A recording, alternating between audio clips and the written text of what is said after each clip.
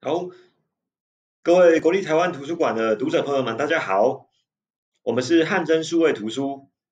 那我们这支影片呢，诶，主要是要为各位介绍美国十九到二十世纪初驻厦门领事档案，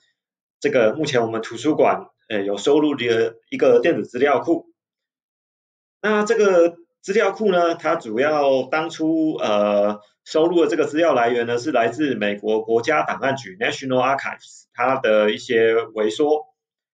那它内容涵盖了1844到1906年，那美国驻厦门领事馆呢提交给美国国务院的这个呃相关的一些公文文书。那呃因为厦门离台湾非常近吼，所以当时呢，哎如果说就是台湾发生了一些什么问题的话呢，其实往往都是诶厦门领事馆这边呢去处理。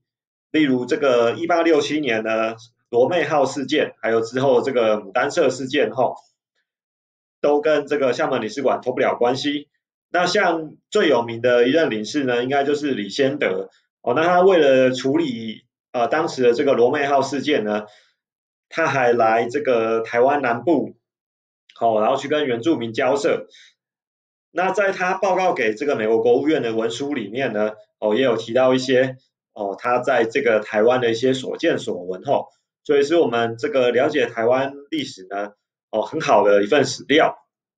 那这个资料库要怎么用呢？哦，就是进到我们这个呃国立台湾图书馆资源探索底下的这个数位资源吼。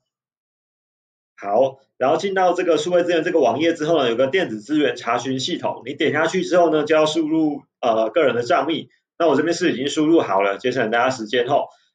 然后进到这里呢，这个是我们电子资源查询系统。好，那我们就输入这个关键字，好，我就输入厦门两个字，哎，它就帮我们找到了美国十九到二十世纪初驻厦门领事档案后，点进来之后呢，就进入这个资料库可以使用，我们就按进入就可以使用了后。好，那这个资料库呢，它的这个逻辑呢，跟呃维说是蛮相像的哈，它就是按照年代。然后去把当初这个领事呢，呃，他提交给美国国务院的这个资料呢，去把它收录在里面。那像以我们刚刚举的这个呃李先德他的一些报告书为例哈，他是收录在这个呃一八六九年这个部分。然后像比如说三月三十一号，哦，哦，这这个都是他的报告书哈。那我们只要按这边啊这个箭头就可以一直翻阅下一页下一页下一页哈。然后这个内容呢，哦，这个 PDF 档呢都可以下载或者是列印哈。好，那这里面我想还有很多可以爬书的这个材料哈。那我们这边只是举个例子做介绍而已。那我们这个厦门领事档案的这个介绍就到这边结束，谢谢大家。